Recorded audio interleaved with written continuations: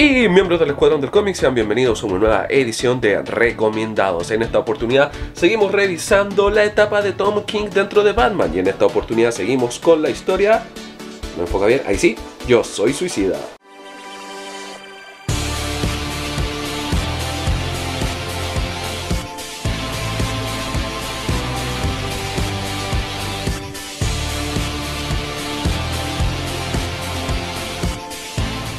Así es, miembros del Escuadrón del Cómics, ya estamos revisando el tercer tomo de la etapa de Tom King dentro de Batman en este formato de DC Saga. Pues bien, aquí la historia continúa de la saga que nos presentaron al comienzo de esta etapa. O sea, estoy hablando de la saga de Yo Soy Gotham. Esta historia es consecuencia de dicha historia, de dicha saga. Porque que hay entre medio de ambos está la historia llamada La Noche de los Hombres Monstruos, que te lo dejo por acá arriba en una etiqueta. La cual de todas maneras... Em, en resumen, no la recomiendo para nada.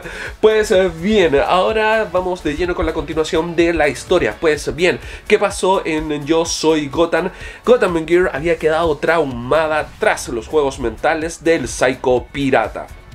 Pues bien, el Psycho Pirata fue capturado nada más y nada menos que por Bane y la única manera de salvar a Gotham Gear es precisamente sometiéndola al mismo tratamiento a la cual la había llevado a la locura, que es precisamente eh, con el Psycho Pirata. Pues bien, Batman arma su plan y aquí por lo menos vemos cómo arma el plan. No por, por ejemplo, em, en la etapa de eh, Scott Snyder, donde básicamente decía, tengo un plan y listo. Y ya tenía el plan y nadie sabía cómo llegar a eso. Pues eh, bien, aquí obviamente eh, te muestran cómo arma el plan, con quién se contacta, cuáles son los aliados que escoge en esta oportunidad para ir detrás de Bane y poder recuperar a Psycho Pirata y llevarlo a Ciudad Gótica y curar a Gotham Gear. Eh, muy muy interesante como se plantea, no está tan lleno de acción, pero sí vemos a un Bane diferente, el cual ya estaba más o menos tranquilo, ya había, ya estaba conforme con lo que había cumplido, pero ahora con la intervención de Batman vuelve precisamente a...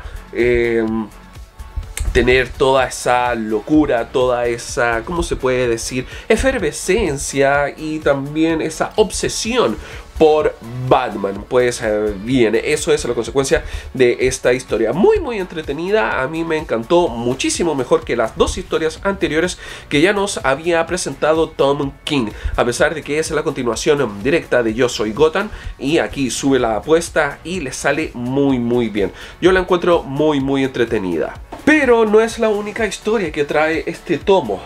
Este tomo también trae una segunda historia llamada Azoteas, donde aquí ya se comienza a profundizar y ya se comienza a adentrar en lo que es la relación entre Batman y Catwoman, Bruce Wayne y Selina Kyle, esta historia amorosa que eh, básicamente dominó gran parte de la etapa de Tom King y obviamente no les causó mucho agrado a los fanáticos, ya que era un cambio de tono bastante importante que se producía dentro de la historia de Batman luego de lo frenético que había sido la etapa anterior y también lo que nos había presentado más o menos Tom King hasta ahora en cuanto a su historia, que si bien no era tan frenético como lo había presentado Scott Snyder, sí tenía un gran grado de acción em, de aventura y todo lo clásico que lleva ser un superhéroe, sobre todo si eres Batman. Pues bien, aquí se nota un cambio de tono eh, bastante grande, ya que precisamente Selina Kyle está coqueteando y está aceptando un poco los coqueteos em, de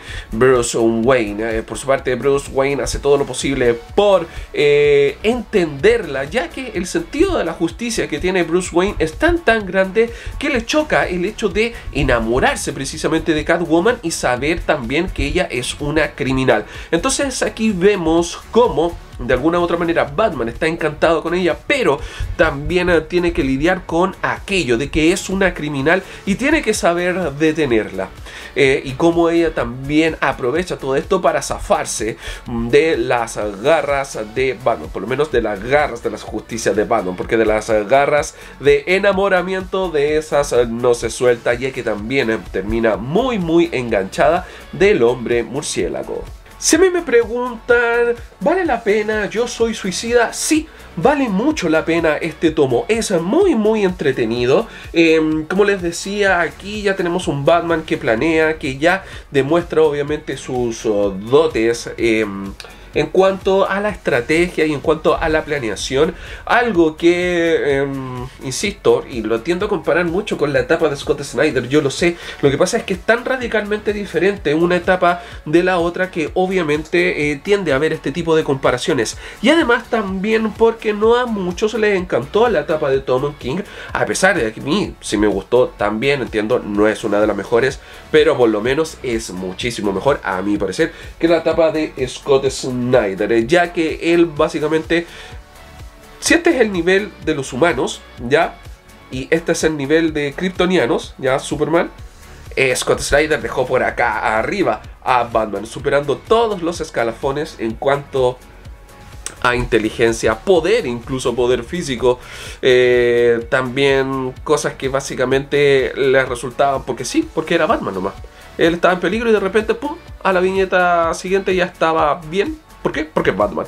Y listo, no había ninguna explicación más. Aquí sí, aquí Tom King por lo menos le da más peso a las situaciones. Ya em, muestra un poco más cómo es eh, Bruce Wayne, eh, te muestra estrategia por parte del murciélago, hay diálogos por lo menos, diálogos que tú puedes decir son interesantes o no, pero por lo menos hay diálogo, por lo menos hay algo así. Eh, si bien Scott Snyder también rellenaba mucho con um, diálogo, pero era intrascendente, en verdad. Sí, a mí hay algunas cosas de Scott Snyder en su etapa que me gustaron, que es la corte de los obúos. Pero más allá de eso, mm, no, no, nada más, nada más de eso. Pero bueno, ya. Basta de comparaciones y vámonos de lleno a lo que es Tom King. Es buena, sí, a mí me pareció muy entretenida esta historia de Yo Soy Suicida. Eh, interesante cómo se plantea, interesante también las motivaciones em, de Batman o por qué lo hace y la historia que también complementa, que continúa inmediatamente en cuanto a la numeración se refiere que es Azoteas, de dos números donde vemos la relación de Batman con Selina Kyle, o más bien Batman con Catwoman y Bruce Wayne con Selina Kyle. También Sí, es un, giro bastante radical, ya lo había dicho anteriormente, pero hay que recalcarlo, ya que de aquí en adelante toma mucho protagonismo lo que es la relación entre Batman y Catwoman, y como dije, esta, esta etapa, este enamoramiento entre ambos personajes, marcó mucho la etapa de Tom King. Entonces también es un tono diferente, porque entre medio de la acción también hay romance.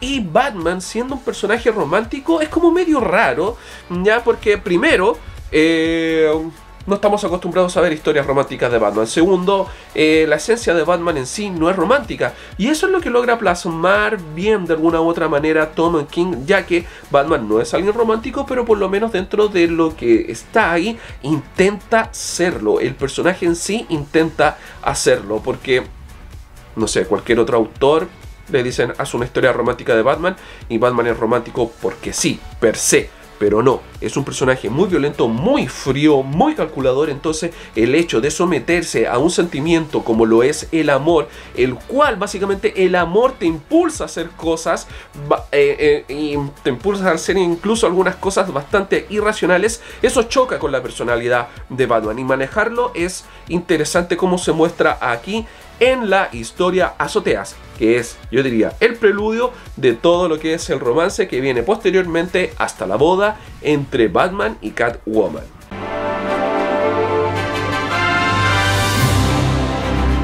Bueno amigos, esa fue una nueva edición de Recomendados. Si te gustó, dale un like. Si no te gustó, un dislike, que también es bienvenido. No hay ningún problema. ¿Tienes algo que decir? Déjalo todo aquí abajo en la caja de los comentarios. Y los nuevos que llegaron a mi canal gracias a este video, suscríbanse aquí a mi canal de Todo Un Poco en Comics para ver más videos así. Y aquí abajo te dejo una lista de reproducción para que puedas disfrutar. Sin nada más que decir, me despido. Soy Jopeki y nos encontramos en otra edición de Recomendados.